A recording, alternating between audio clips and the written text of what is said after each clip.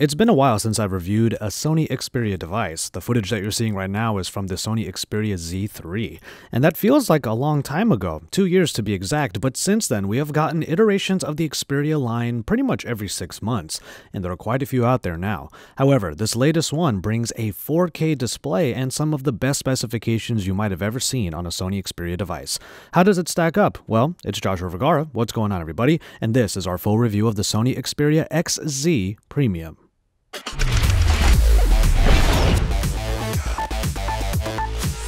Now, while the word premium is in the name, it might not be the absolute best word to use for this phone's design. The premium is definitely a looker with glass on glass designs that sport a dark blue sheen, at least in our review unit. The translucent color shines beautifully and makes for a very sleek device. But the glass all over design is something that has been tried and true in the Xperia line before, and it makes for a phone that is ultimately all too familiar.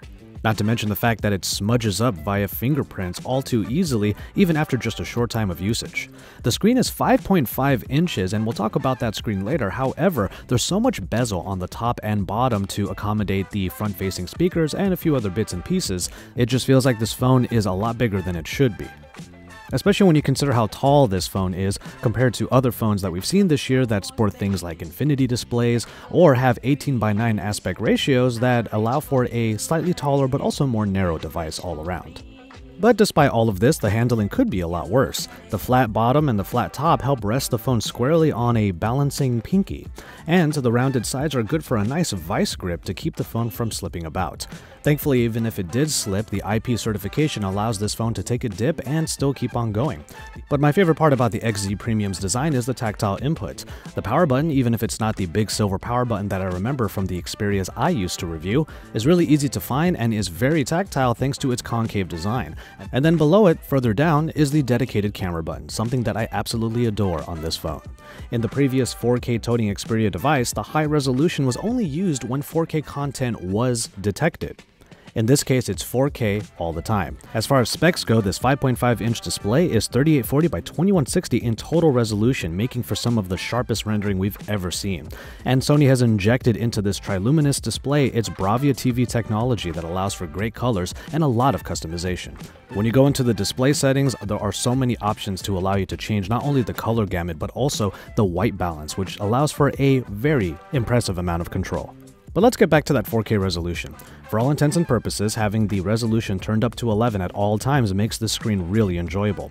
There is an upscaling that occurs when viewing anything below that high resolution, but that is where the Bravia capabilities come into play. Nothing looked overtly pixelated or blown up to the point of distraction. On the flip side, 4K native content is actually kind of hard to come by. If you're using Amazon Prime Video, that's one good place to watch some 4K content, but if you're on YouTube, you have to sort of dig through a lot of the 4K content that might be sprinkled about its library. The biggest issue with a 4K display is not how fun or how good it is to use, but just the fact that there's not a whole lot of content out there. That doesn't take away too much from the 4K display, it is just going to be a little bit too ahead of its time to really make it an essential feature.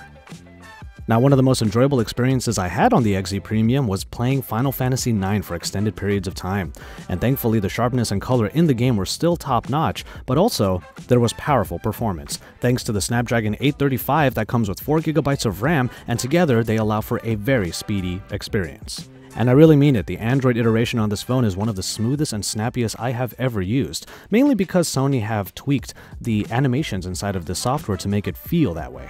But I never had any problems with having multiple apps open and plenty of them in the background still remained, and going in and out of different applications to multitask was also a breeze.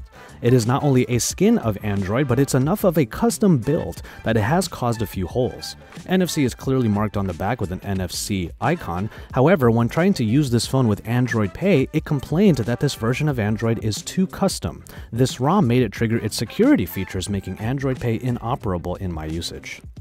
And another bummer about this phone is that the fingerprint reader is not available in the West. This change is sorely felt because I used the XZ Premium out in Taipei while I was in Computex, and using the fingerprint reader on that phone was actually pretty sublime. Unlocking the device easily by just pressing the power button because it is also reading the fingerprint made for a very speedy experience. And as for the rest of the inclusions, the microSD card slot can be used as an extra SIM tray depending on what market you're using this phone in, and it bolsters the already included 64GB of onboard storage. The large bezels make way for those stereo front-facing speakers, which are small grills on the front that provide not necessarily a very loud sound, but at least a good stereo sound. And things get even better in the audio department when headphones are plugged in. There are so many options for catering the audio experience that listening to pretty much anything is enjoyable. Clear Audio Plus returns and allows for an automatic way of boosting the sound without having to go through the minute customizations. And there's even optional enhancement to make compressed audio sound more like lossless audio, called DSEE HX. To round it all out, noise cancellation is also built into the headphone jack when using a compatible headset. There's very little to complain about when it comes to the audio of the Sony Xperia XZ Premium.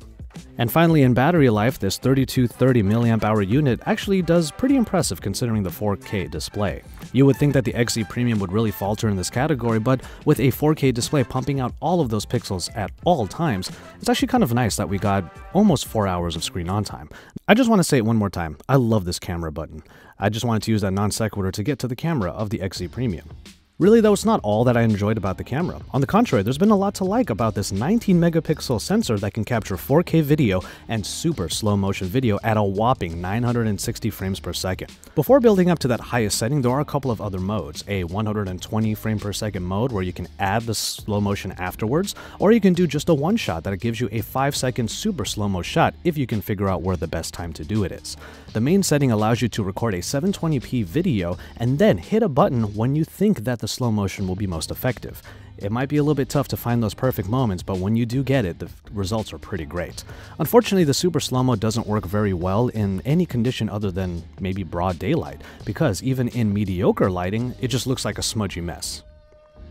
On the topic of video, I used the XZ Premium as basically a vlogging camera during a couple of days in Taipei and then out in New York. I enjoyed what videos came out of the 1080p mode, however, one of my gripes about the software is that you have to go into the extra mode selector just to activate 4K. It seems like one too many steps to get to a feature that should be easy to get to, especially for vlogging types like myself. But overall, the video experience was quite good, and the same could be said for picture taking. Superior Auto is still a great go-to in order to get the best possible shot given the scene, and tapping on any portion of the viewfinder to focus the camera allows it to track that portion for proper effect. Pictures get a great amount of detail given the 19 megapixels packed in, but color and exposure are pretty much where they should be. I did find in a couple of photos that exposure was just a little bit too high, but that was more than likely because it was trying to compensate for the dark area I may have tapped. In lower light, the XZ Premium is only really hindered by the slower shutter speed that needs to compensate for the f2.0 aperture. A slower shutter speed means that even small movements could blur the photo a little bit, especially if you're using that dedicated camera button to press the phone down. Portraits also get a little less love because of that slightly higher aperture. There is less of a bokeh effect compared to other phones like the Galaxy S8 as a result. But when the detail is as high as it is, it is kind of a small trade-off. And speaking of portraits, the front-facing 13 megapixel camera does a pretty good job on its own. So, as the top manufacturer for the world's most common smartphone camera sensors, it's good to see that Sony is using its own hardware to great effect. And finally, we can talk about the software, a lighter edition of Android that comes in the XZ Premium, especially when compared to, let's say, LG and Samsung counterparts. The simplicity of this version of Android is pretty easy to see just at the home screen. It still uses an app drawer button, and you can swipe over, and Google Now is already built in. Sony's own applications, however, do fall into that redundancy trap. There are a few applications here that seem to be out of place when you consider that Google's own additions are already built in. The photos and video applications are right alongside Google Photos, and there's even a news aggregator that, while it does look pretty good, is right next to the Google Now that's, like I said, built into the home screen. It might seem a little bit counterintuitive, but one of the greatest strengths of the Sony Xperia XZ Premium is the fact that it doesn't try too hard with the Android software. And as we said before, the fact that it has been sped up, especially in its animations, really shows that this phone is really powerful, speedy, and incredibly smooth.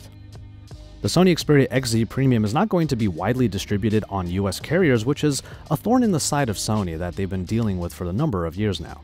However, it is available for $799 on e-commerce channels for unlocked editions, and this includes places like Amazon and Best Buy. And really, I have to say, it was refreshing to come back to the Xperia line after having such fond memories of the many that I used to review. And Sony's done a good job of keeping up with the competition. It's a little bit of a give and take though. A solid, even if kind of all too familiar design literally makes it shine, and the 4K display on a phone is a wonderful addition despite its lack of overall usefulness. But for anybody that hasn't visited the Sony Xperia line in a while, this might be one of the best times to check it out, and you can have one of the most forward-facing devices that Sony has ever created. As always, thank you guys very much for watching and hope you enjoyed this review of the Sony Xperia XZ Premium. It's kind of a mouthful, but then again, there are plenty of things to like about this 4K display toting phone. There's a whole lot that you can really enjoy on this device, and if you haven't used a Sony phone in a while, well, this might be the time to check it out. Keep it tuned to Android Authority for even more and more reviews and comparisons on all of the flagships that are coming in this year. Keep it tuned here and don't forget to subscribe because we are your source for all things Android.